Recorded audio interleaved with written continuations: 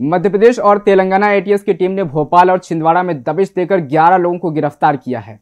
इनके कट्टरपंथी इस्लामिक संगठन हिजब तहरीर से जुड़े होने के सबूत मिले हैं। देश भर में एचयूटी के कुल 16 सदस्यों को गिरफ़्तार किया गया है। गिरफ़्तार लोगों में भोपाल गैस त्रासदी एक्टिविस्ट का रिश्तेदार भी शामिल है, जिसमें जिम ट्रेनर, इंजीनियर से लेकर टीचर भी इस संगठन से जुड़े हुए हैं।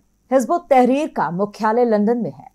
यह संगठन भारत में लोकतांत्रिक शासन प्रणाली के स्थान पर इस्लामिक शरिया कानून लाना चाहता है। इसके लिए संगठन ने मध्य प्रदेश में भी गुपचुप तरीके से अपना कैडर तैयार करना प्रारंभ कर दिया था। संगठन का उद्देश्य नवयुवकों को भारत की वर्तमान शासन प्रणाली को इस्लाम विरोधी बताकर संगठन से जोड़ना है। हिंदुओं के खिलाफ जिहाद के लिए संगठन का विस्तार करना था।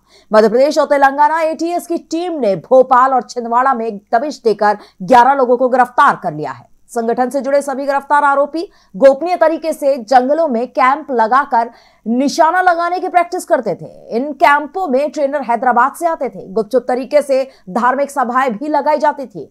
इनमें भड़काऊ तकरीरें और जिहादी साहित्य बांटा जाता था।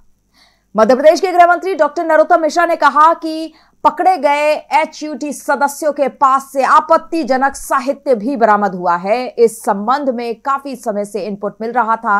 इसके बाद यह कार्रवाई की गई है। यह संगठन शरीयत कानून लागू करने के लिए किसी भी हद तक जाने और हिंसा करने में विश्वास करता है। भोपाल के दस लोग और छिंदवाड़ा के जो एक व्यक्ति हैं, जो एच के लोग हैं। उनको 19 तारीख तक का रिमांड पर लिया गया। पाँच लोग हैदराबाद में गिरफ़्तार किए गए। उनको लेकर के पुलिस पार्टी रवाना हो गई है भोपाल के लिए। वो पाँच भी भोपाल आएँगे शीघ्र ही। काफ़ी जाँच के बाद में इनका जो फंडिंग का मामला है, उसकी भी गंभीरता से जाँच की जा रही है। कि फंडिंग कहाँ से इनको आ रही है वो सारे स्रोत देखे जा रहे हैं। छिंदवाड़ा और हैदराबाद से पकड़े गए आरोपियों को जल्द ही एटीएस अफसर ट्रांजिट रिमांड पर लेकर भोपाल लाएँगे।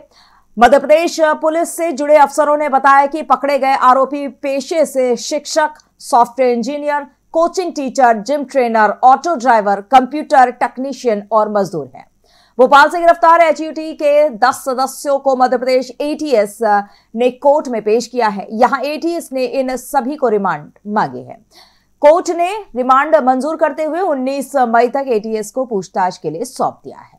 दस लोगों को पेश किया गया। उसमें पुलिस द्वारा जो उन्नीस पाँच तक का जो रिमांड मांगा गया था, उसका मेरे द्वारा विरोध किया गया था और एक्यूज के द्वारा भी विरोध किया गया था। कि हमें कोई जानकारी नहीं है। पर न्यायालय द्वारा प्रकरण की गंभीरता को देखते हुए उन्नीस पंच का रिमांड किया वो रेटिन में था, वो सब गोपनीय था, इसलिए बताया नहीं जा सकता। मध्य प्रदेश की महिलाओं के आर्थिक सशक्तिकरण के उद्देश्य से संवेदनशील मुख्यमंत्री शिवराज सिंह चौहान द्वारा मुख्यमंत्री लाडली बहना योजना का उपहार सभी पात्र महिलाओं को दिया गया है। इसके तहत उन्हें प्रति माह एक हज़ार रूपए दिए जाएँगे। ये राशि सीधे उनके बैंक खातों में पहुंचाई जाएगी। योजना की प्रक्रिया बेहद सरल और निशुल्क है। योजना से जुड़ने के लिए बहनों को कहीं भटकने की आवश्यकता भी नहीं है। दस जून को पहली किस्त बहनों के खाते में आ जाएगी। एक हज़ार रुपया की पहली किस्त। योजना से जुड़ी अधिक जानकारी helpline number zero seven double five two seven double zero eight double zero एवं website C M Ladli Behna dot M P dot G O V dot in आरोप प्राप्त की जा सकती है। चलो लाडली बहना। वो खबरें जो आपके काम की है। वो खबरें जो आपके लिए ज़रूरी है। हर आम और खास से जुड़े मसले। हर मसले का सटीक विश्लेषण। हम करते हैं सत्य का अन्वेषण। दखल न्यूज़। आपके हक में। आप देख रहे हैं दखल न्यूज़।